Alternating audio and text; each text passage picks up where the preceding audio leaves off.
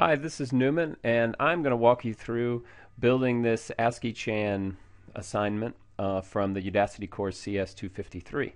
Uh, I'm going to copy all the code from this uh, discussion post, and we are going to be using the Google App Engine, and I'm going to use a text editor of Notepad.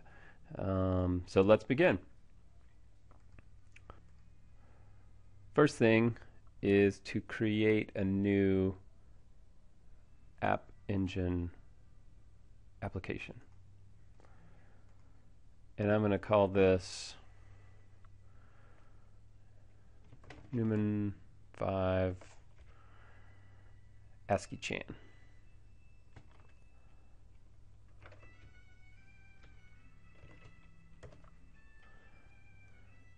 And we'll put it on port that's that's all right.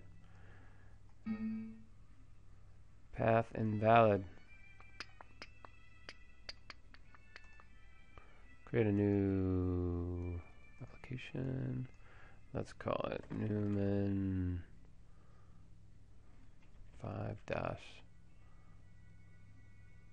S.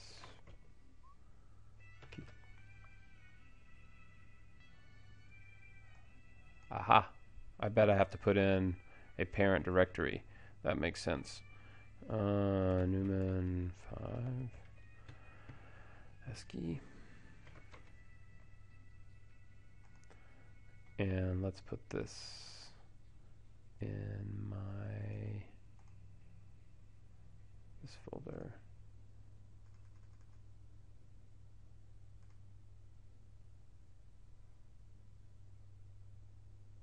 Think it will do that, right? Okay, perfect. So now, ha ha ha, there's our app uh, YAML file. And let's get all the other files open. And here's the main.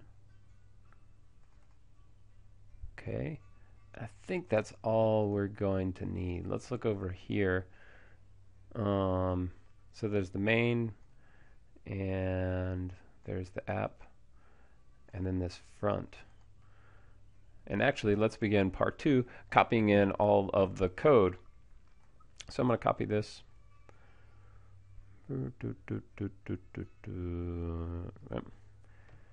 Copy. I'm going to get over here and create a new one, paste it in, and save it in a folder called templates. Templates. Make sure we spell this right. Templates. And then give it the file name of front.html. I think. Is that correct? Front dot yeah front dot HTML in the templates folder. Okay, so we copied that part in. Let's copy this part in. And control all will not work.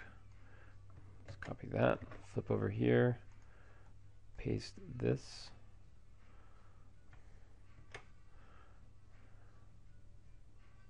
Ho ho ho, wait a minute. Undo. So this, so we don't want that part. That's all the same. Then handlers, those are all the same. That's the same. That's the same. Name, Jinja. Jinja, wait a minute. Testing Jinja. I bet that is the same too. So wait a minute. So we just need this. I have a feeling, but you will see it happen here live. Okay, so we got that. And then we're gonna get this. Copy flip it over here and into the main py and drop that sucker in there. Okay. Um, let's just see if it will work. Hop over here and type in local host and see nothing else is going to be running. That's not going to work because it's not running. So let's go over to here and run this guy. This starts up the, I guess the little web server that it has, and we can fire that. And fire that. And nope. Okay, so we're back to the drawing board. I'm going to hit a pause on this recording at six minutes, and I will be back to you with what I found was wrong. Okay, so it seemed that it was only a problem of caching or or some such thing because I didn't do anything. Um, I just uh, hit the refresh button. Um, I got I got one of my other ones running, and then I came over here. So I don't know exactly uh, why that was, but